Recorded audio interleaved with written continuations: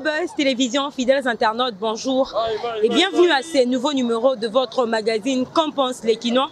Nous sommes sur terrain pour échanger avec la population trouvée ici présente en ce qui concerne le blocage au niveau de la CENI il s'observe depuis un moment un manque de consensus au sein de confessions religieuses. Voilà pourquoi nous sommes sur terrain pour échanger avec la population et recueillir leurs avis par rapport à ces sujets. Sans plus tarder, suivez les avis des uns et des autres. Bonjour, monsieur le journaliste. Non, premier que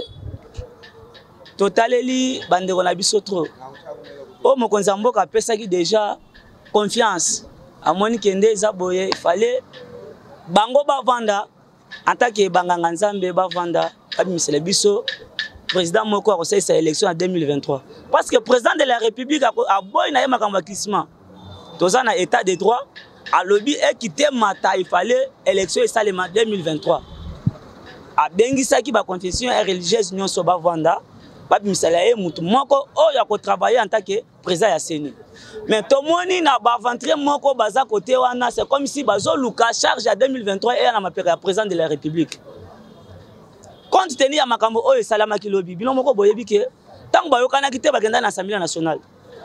Tango bayokanaki te bakenda epa président de la République. Président de la République azongisi bango non bokende. Boza ba Congolais bovanda bosolola bopesa nga moto moko. président azobanga élection te soki ke na 2018 nanga ama président de la république ebongo na 2023 président akobanga na ye élection te mais apesi bango charge en tant que bato oyo vraiment bateyaka liloba nzambe bovanda bosolola bomisela nga motu moko bandeko na biso baaventurier dodo ngamba pardon papa oza pasteur na biso napesaka oyo vraiment vraiment respect ebele papa bobimisela biso président oyo vraiment akosalisa élection na 2023 so bomoni ke esika moko boye ezokoka te eloko moko boye ezo empêche mpo ekotisa kimia na, na, na mboka na biso boza bato boyokaka liloba nzambe mpo boteyaka biso boyeba ndenge nini ya kotrouve solution na makambo wana mais eloko ya kokamwa eza ke lobi mpe basangani bayokanaki te mais président de la république azozela 2023 élection esalema ekosalema ndenge nini bokoyoka koloba ye président nde moto aluki glissement non ce n'est pas président de la république moto aluki ke glissement esalema eza bango moko buzoba na bango moko oyo bazosala yango nazoloba dodo ngamba oza na yo porte parole ya motu te oza na yo porte parole ya motu te kolobela te kaka boye kaka boye non papa toza bato place omoni ke ezosimba te papa bwakisa bobanda masolo a zero so bomoni ke esika moko nde ko trouver ke solution emona na mboka na biso biso tozoluka kimia mpasi eza ebele na mboka na biso yango nde omoni depuis lobi tozalaki na kanda tozoyebisa bango ke soki bino baprésident ya confusion ya religieuse bokoki te koyokana biso population ya parti ya lendi tokozala na nzela biso population lendi tokozala kuna bozela biso na senko so tolongwe wana so tomoni ke boyokani te tokozala epa président ya assemblée nationale mpo toyebisa ye ke oza na droit ya kobimisela biso motu oyo population balingi mpo toyebisa ye ke oza na droit soki bomoni esimbi te tokotinda masolo na ministre ya interieur me tolingi eloko wana esalema te tozoloka lokola président de la république apesi bino kimia apesi bino confiance alobi nazoluka kimia na mboka na ngai parce que boyebi bien baélection oyo oh, bato mosusu basali basala basala barégime passé basala élection ya buzoba ifale ye moko alakisa bino ke aza moto oyo ayei na démocratie na mboka na biso na état de droit yango omoni naza mobilise na bajeune nyonso ya kinshasa eza kaka awa te babase eza ebele toza déjà mobilise soki botrouve comprime na likambo ya président ya seni te papa bakosa bino te ke tokondima buzoba wana lisusu susi na biso eza ke 2023 élection esalema basango coup de chapeau toyebi ke bino nde bolakisa biso malike bozwa bino katolika kote mosusu boye nango awa toyebi ke bino bozalaka dodo ngamba tosengi yo biso toza bato na bino te en tant que peuple congolais toza revendiquer droit na biso tosauve mokonzi ya mboka na buzo bolingi bokotisa ye toluki kimia na mboka na biso ezala 2023 élection esalema mpo élection esalema il fallait bosala tout, tout, euh, tout vite possible bobimisela biso nani président ya assemblée euh, ya nani ya sénat ya, ya, ya seni azala déjà yango tosengi bino soki boyoki te oyo tozobelela lelo eza ya suka tokobelela lisusu te lobi tokozala kuna na senko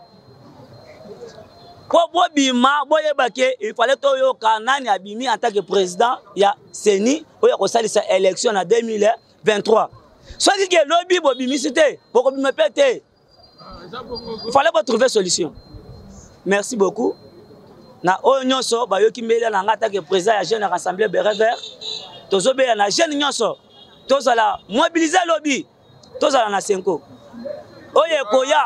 bafa bafa bashala bashala tokozala kuna merci beaucoup mbote papa mpo na ngai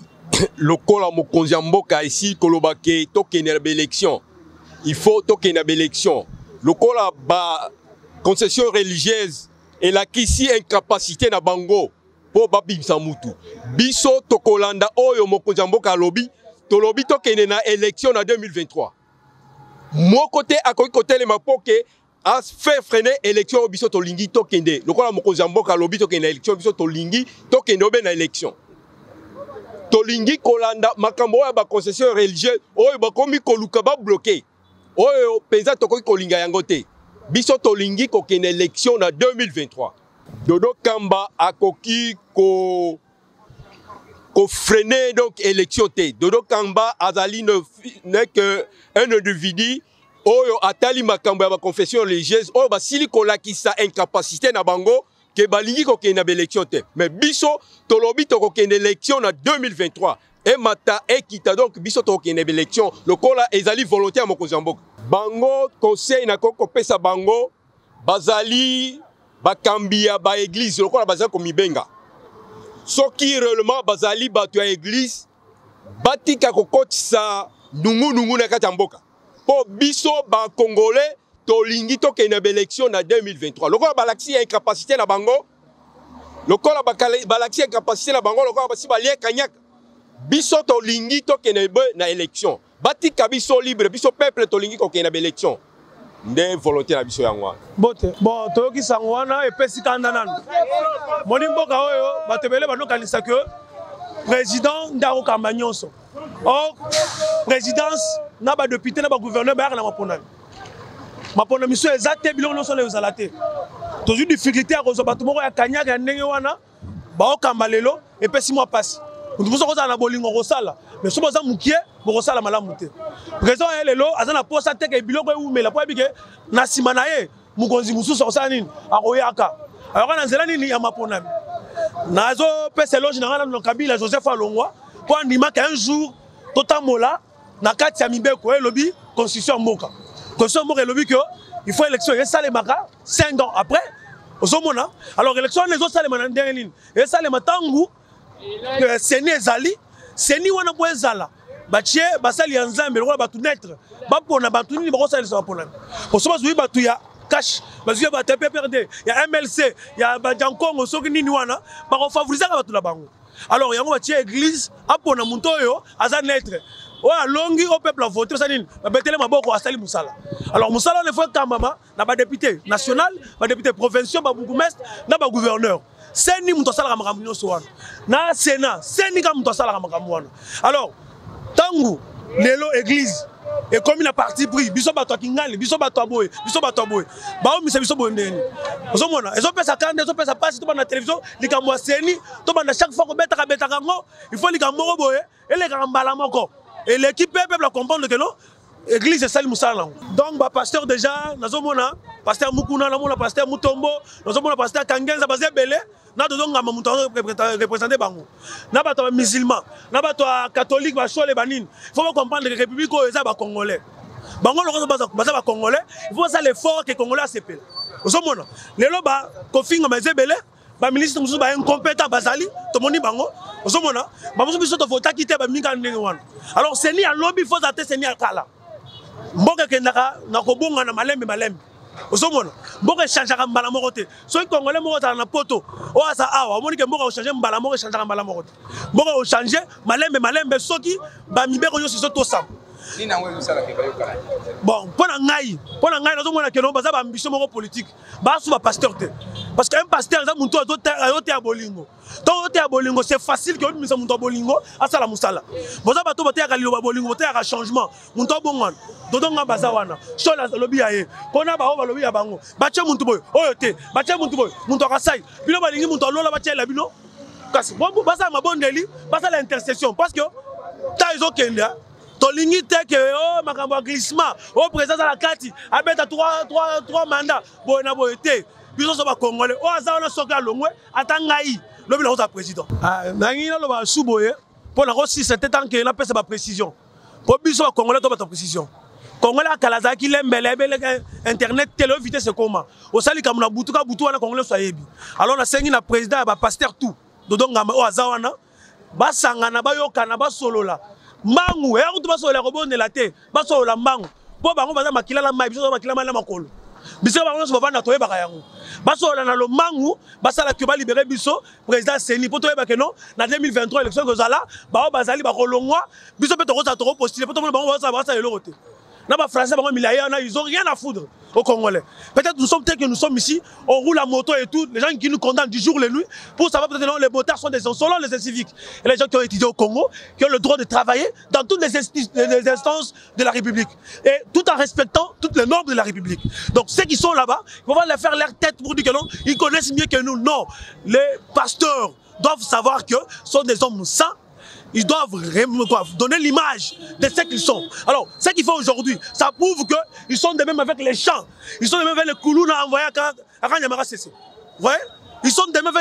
le coulou à comme CC. Ils sont des coulous en cravate. Parce qu'un pasteur doit honorer sa parole. Ce n'est pas dire ou soit compliqué d'honorer sa parole. Ce n'est pas si compliqué de sortir le président du, de, quoi, de la CENI voyez, avec ce retard ici, c'est une manigance pour que non, le lendemain qu'on puisse venir nous dire non, voilà, euh, avec euh, le président actuel, il a fait le glissement et tout ça, tout ça. Ce qui n'est pas important. Je pense, ils ont eu leur message, s'ils n'ont pas le droit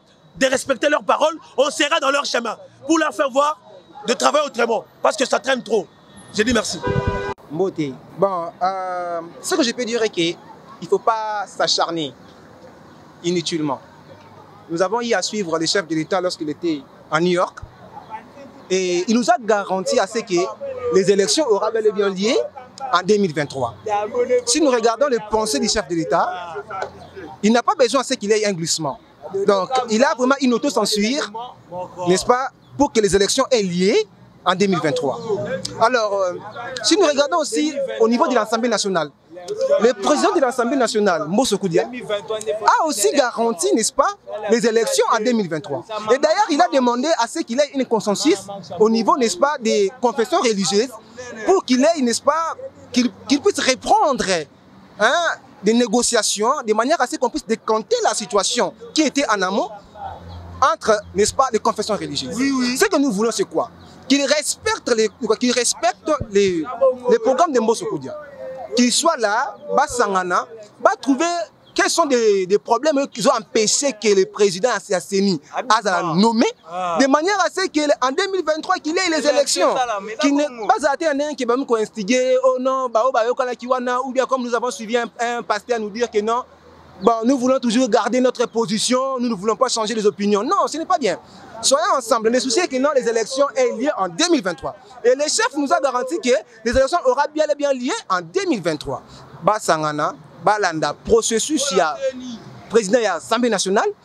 pour que avant 2023 que tozala na président ya ceni oyo akoyeba bien kokamba élection oyo chef d'état azoprône ndenge asalaki na na new york bon mon souci en bref eke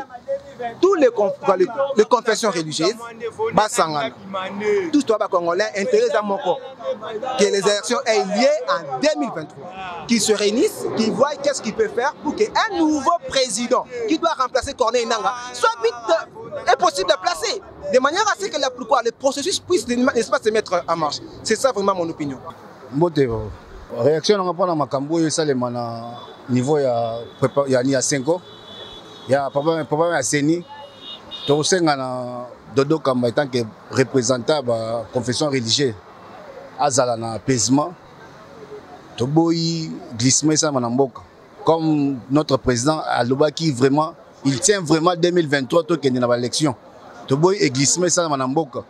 tosengi na dedo kama etant que représentant ya religieuse azwa apaisement bakutana bayokana basala baélection eleka na ndenge ya normal notre président alobi lui le président ya bato nyonso géopolitique ezokonte ezala muluba ezala moswahili ezala nani oyo nyonso akoleka aleki mpo akamba makambo eleka na ntina 2023 makambo eleka na ndenge ya normal Président boyi glissement, il tient vraiment 2023 tous les canaux élections. Et on te sengi na dedo kamba, à sala musala comme il faut, à tikaba, bioka yoka. Donc à la namukonzi mboka, ndenga lobi, mutu nyonso faut azala na nzela. Toboyi système à glissement, toboyi glissement na 2023, tous en besoin élection et salement. Oya koleka aleki. Donc to sengi na dedo kamba, abenga bato na ye bakutana bakende koyokana mpona tokende na maponami ya 2023 e, mbote pa me mpo na nga nayebi ke toza na demokratie baoyo bakozala majorité nde bakokanye procès jusqu'alors toza na kati ya kozela président de la république eh, na ndeko na biso dodo kamba babimisa biso président ya seni mais jusqu'alors e-, érection moko nano esalemi te mais nayebi te euh, ce qui se passe au juste mais position na ngai eza nini président de la république aza na posa élection esalema na 2023 mais jusqu'alors bandeko na biso ya confession religieuse nanu babimisi moto ata moko te biso antake peuple congolais toza na kati ya kozela bango so bafaire koreagir te lobi tokozala na nzela tokozala na biro ya seni kuna po tose manifeste oui antake peuple congolais oui. je vous remercie mbote papa yo oyokaki yango te asolana mpena epesa biso méchant fort soit disant bapaster bato aseni wana makambo bazosala yango mpena to comprendre yango te président de la république abengi bango nyonso tu boya boluka motu moko oyo akoki kokamba seni ti lelo tozomona ata motu moko oyo akoki kotelema mpena ke akamba seni te 2023 toza na mposa ya élection ti lelo tozomona ata réellement ata moko ezosalema na mboka oyo te ça veut dire bamona mboka oyo lokola ya bango moko ah soit disant ba pasteur na ba evre na banani wana donc moko ezaka ya bango moko bango na bana bana na bango basepela biso ata bake bakongole tosouffrir ntina mitango tosouffrir kaka donc eza bien te papa il fallait baluka motu moko oyo akoki kokamba seni mpo président de la république ayebisi déjà bango bolukela nga motu moko na tie wana mpo réélection élection ezala 2023 to ti lelo oyo tozomona eloko moko te ça veut dire balingi nini ka bango moko bazala wana biso bakongole tosepela na eloko wana te toza na mposa ya mboka na biso ebonga toza na mposa tolia bien tozala bien te wana wana wana biso tokondima yango te tokondima yango te tozozela bango leni nde suka soki likambo wana te leni tokozala na bango wana toyebi epai na bango nyonso tola bapaster wana soit disa bapaster na banani wana donc na comprendre kutu bango te toyebi epai na bango tokoluka bango nyonso bisika nyonso bazalaka surtout bato ya sengo wana batya mobulu wana bazotya mobulu wana donc tozoluka bango toyebi ntina bapale na bango lendi donc suka makambo eza lendi soki relation moko eza te tokobimela bango wana tedongamba donc yo oza porte parole ya motu te eh? yo osala mosala ndenge esali moko osala jamais yo okovanda wana nde motu moko boye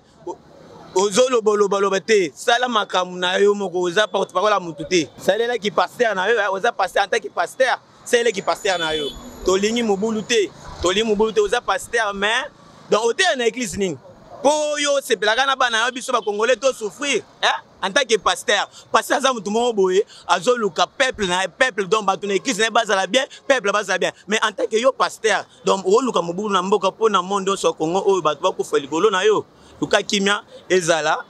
donc tozala biso bien lundi mais omona biso tokozala wana lundi tokozala wana mpo totala makambo nini bosolola kuna réaction eza boye biso bamama tiangu na badara tozoloba boye toza na message oyo confession religieuse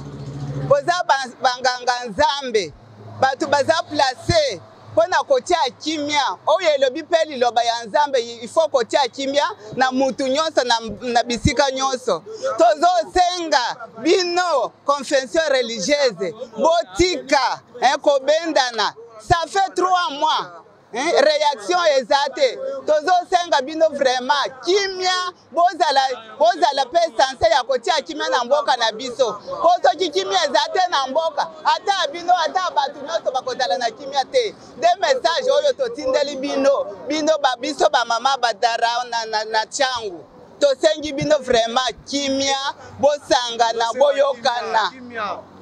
message na ngai yango wana bote papa papa toyeba te so ya mboka yango baolinga nini na mboka na biso kongo biso eza population bango baoya baopanisa biso kaka boye kaka so ozalaka soki paster zala na eglise so ozalaka sango zala na eglise na yo botikama baseni baluka solution ngai aloba mingi te me baluka solution ya makambo oyo lobi eza lendi tokobima soso ezwami te lobi bamona biso tu partout bakozala partout biso tozala baluka solution baluka solution ya eloko oyo bango bazoluka mpo biso mpe na bongo toza mpe bato lokola bango toza mpe na mai na makila na nzoto na biso so baluka desordre desordre ekobima toza na posa mboka na biso ezala calme toza na posa toyeba president na biso ya seni ezala mutu moko te a divise 80000 personnes so combien na kati ya mboka oyo apesa ba ordre na ye asala makambo na ye biso toboya yango toya biso toyeba president ya seni biso ba jeune tokemba tokemba fort likoya bambutumbutu na bango baza na yango lobi solution makambo oyo so emonani te lobi tozala na bango na seni kuna tozala na bango tozala na bango na senko kuna Uh, toyeba oyo eleka oyo bango basola ifo tosala na bango toyoka bango mpo so tokemba toya ba jeune tokemba tokema misala ya te ti siko solution ezwama te tozala lobi kuna toyeba na mutu moko oyo alinga panza ka mboka na biso kaka pamba kaka boye toyeba ye c'en est fini pour ces magazines vous étiez nombreux à suivre les avis des uns et des autres quant au sujet donné Merci à Jacob qui était derrière la caméra, à vous tous qui l'avez suivi. Je vous dis grand merci pour votre réelle et sympathique attention. Restez-nous fidèles d'ici là, portez-vous bien. Ciao.